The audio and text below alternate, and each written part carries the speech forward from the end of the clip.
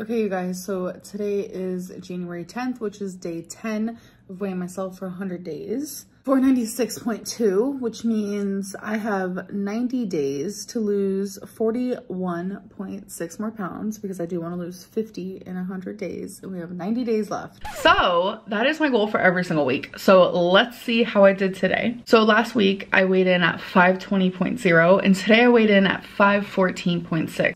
496.2. So that is a 5.4 pound loss.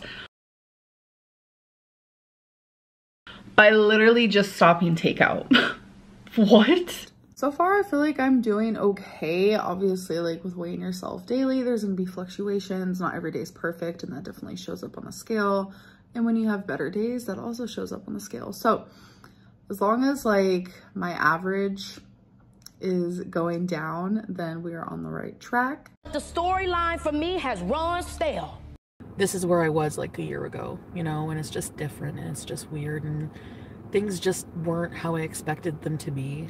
Hello guys, welcome back to my channel and if you are new, my name is Charlie. Please consider subbing before you exit this video.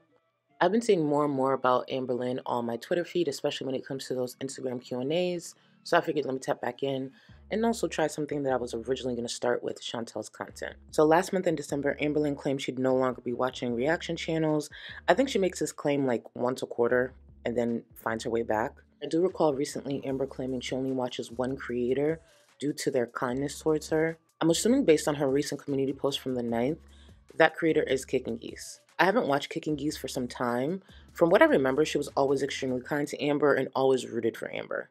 Now, during a recent live stream, Amberlynn popped up in chat where Narc Alert is a mod for Justine. There was a mixed reaction from the chat, but Justine didn't notice until after Narc Alert removed Amber from the chat.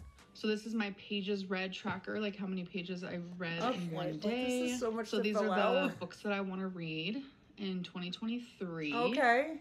And All then right. this is the first book I will, will be reading. So every single day I'm going to write like how uh, what page I'm on, what's my thoughts. So she basically made her own journal for her own specific self.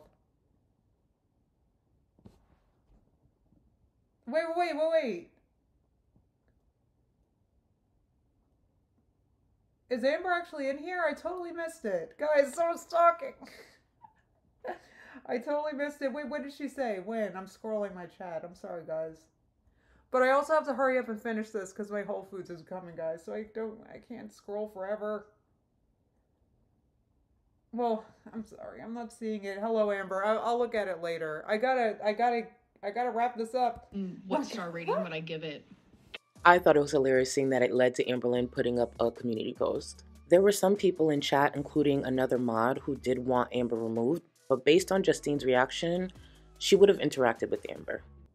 Wait, you timed her out the narc alert? Aw, I hope she heard that. Maybe she'll be back. I lost.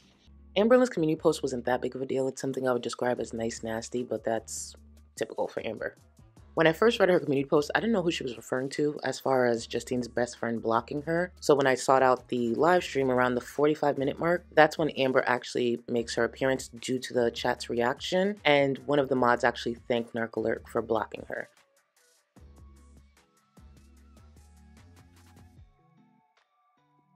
At the time of the community post, I couldn't put my finger on what the history was between Amber and Narc Alert, and then I remembered the Instagram Q&A that she did a few days prior. A viewer asked what's the most out of character thing you've ever done.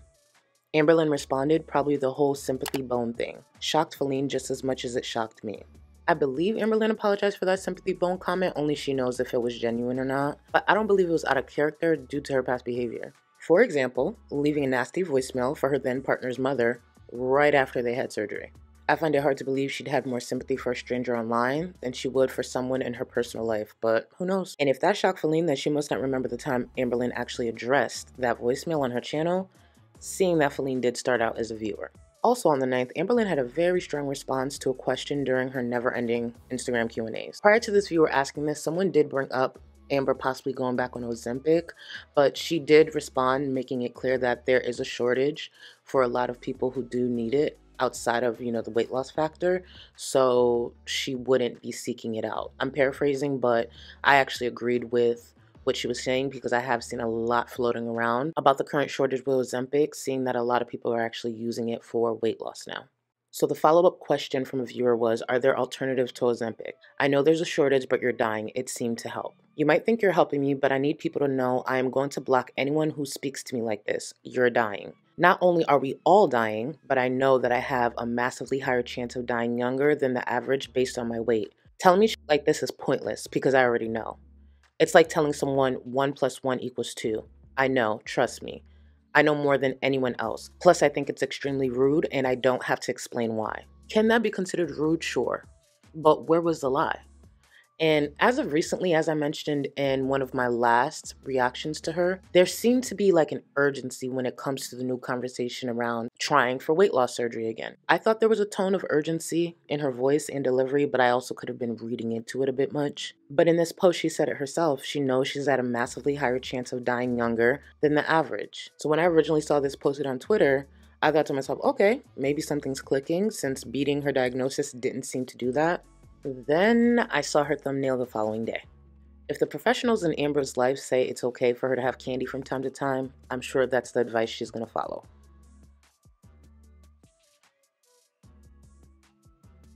But nothing about that thumbnail says she knows she has a massively higher chance of dying younger than the average. It just looks like she placed a thumbnail there that would get viewers to click and possibly engage with her content in a negative way.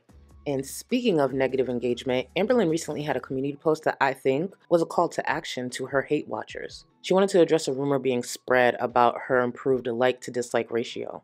Who cares? Whoever is dedicated to not believing Amber based on all the lying she's done over the years won't believe the screenshot she posted anyways. I think she's telling the truth about the ratio improvement, especially after the reception she had from Vlogmas, but I also think she addressed it knowing it would encourage more engagement from dedicated hate watchers. The thing is, the tools that some viewers use to try to gauge the thumbs up and the thumbs down, seeing that it's no longer visible, can be wildly inaccurate. She'll address dumb stuff that have very little impact on the perception her viewers have of her, then avoid or lie about much bigger topics. So, I've been wanting to explore taking a look at present day versus a year ago with Chantel's content since so much is there. Some things have changed, like her location, and yet so much has remained the same, like her contradictions, bigotry, and the angry Pinky when she's raging. And then I figured it's something I could compare with Amber's content as well. Let's compare Amber with Amber. So much can change in a year. Let's be real, so much can change in half a year when it comes to this corner of YouTube. Around this time last year, Amber was doing another round of 100 days of weighing in, and it wasn't going so well. Okay, so let's start. Today is January 6th, which is day six of 100 days of weighing in. Here is my weight. So that means that I am 495.0, which is so exciting. That means from yesterday, I'm down another 2.2 pounds. I'm down pretty much 10 pounds in six days. How am I doing it?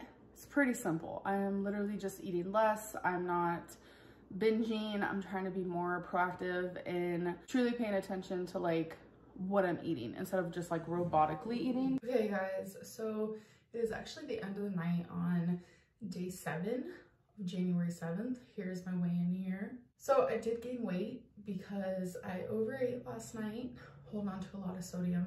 And unfortunately, I also was not on track today. So tomorrow's weigh-in, I'm a smidge nervous for. So honestly, I am just here, to be honest. Normally, I would just say, okay, I was off track. But the truth is, both days, I overate on Chinese food. I was having a hankering. I haven't had Chinese food in a while. So when I got it, I kind of ordered a lot and I ate a lot. Chinese food has tons of sodium. So just the mixture of a lot of calories with the sodium is a no-no. So I'm definitely gonna weigh in tomorrow and have gained more weight, which is freaking unfortunate, but every day is a new day to start over. Um, so we're gonna get back on it tomorrow. Fingers crossed. I know I got this. Okay, you guys, so it is the 8th, which is day 8 out of 100 of weighing in. So here it is. I lost a few ounces from yesterday. Currently in my closet, as you can tell. Hey guys, okay, so it is January 9th, which is 9th day of 100 days of weighing in. Here is my weight. So I've gained more weight. Um, I'm not doing the greatest My eyes are super swollen right now because, I mean, it was worse. So I've been doing my fair share of crying, um, going through a little something. I'm hoping that I just start feeling better. Already today, I know I'm not gonna be on track. So I don't know what tomorrow's weigh-in is gonna look like. This video is kind of a flop. Okay, you guys, so today is January 10th, which is day 10 of weighing myself for 100 days. 496.2, which means I have 90 days to lose 41.6 more pounds because I do want to lose 50 in 100 days and we have 90 days left. So far, I feel like I'm doing okay. Obviously, like with weighing yourself daily, there's gonna be fluctuations. Not every day is perfect and that definitely shows up on the scale. And when you have better days, that also shows up on the scale. So as long as like my average is going down, then we are on the right track. It's almost as if she has a choice to remove it completely as content and she just chooses not to. What was interesting, but yet typical when it comes to Amberlynn, is what she posted two days later. Amberlynn doing a Kit Kat taste test. Okay, so I figured in this video, we try a bunch of random flavored Kit Kats. You know, just an excuse to eat some candy because like why the heck not? I'm just joking. I really just have been wanting to try the different flavored Kit Kats. As far as her most recent upload, she's excited about her current weight loss, which is a little over 5 pounds, which is pretty good. However, it's an 18 pound gain from where she was just a year ago. Amberlynn starts giving reasoning and excuses to why she won't be sticking to the goal she originally set to not order out, for the month of January. Okay, now on to the actual weigh-in part of this. This week has gone really good. As you guys know, I wanted to do no takeout for the full January, but Felina and I have decided that we're gonna allow ourselves to have takeout every Sunday, which is weigh-in day. So after our weigh-in, we're gonna have one meal. It's not gonna be a binge fest, it's gonna be a normal meal. So we did do that today, and this is my first takeout of January. I'm totally fine with this decision because having one meal versus every single day is a big change. But she wouldn't have to give that weak reasoning if she just never mentioned it on her channel. I've mentioned this before. I think she should just set her goals and keep them private and possibly mention them once she's followed through for like a couple of months. So since I want to reach 399.8, that means I have to lose 120.2 pounds this year, which means I have to lose about 2.3 something, something, something pounds a week. She'd have more confidence going into it and not have another example of her not completing a goal she chose to present to her viewers. When it comes to her platform, nothing tops Amberlynn's dedication to documenting her stagnant and sometimes worsening progress in health. It's a new year though, and there does seem to be a slight urgency in her tone at the top of this year. But I guess it's not that unique when it comes to Amber's past. This could possibly be the year she ends up in a different outcome, but with a lot of her current actions looking the same, we'll see. A lot can change in a year, so maybe this time next year, the comparisons won't look so similar. But we all have choices, so we'll see what Amberlynn chooses to share, how she chooses to respond, and what she makes of this year. Thank you so much for watching or listening in. Let me know your thoughts down below and some of your predictions that you have for Amberlynn in the year of 2023. Later, guys.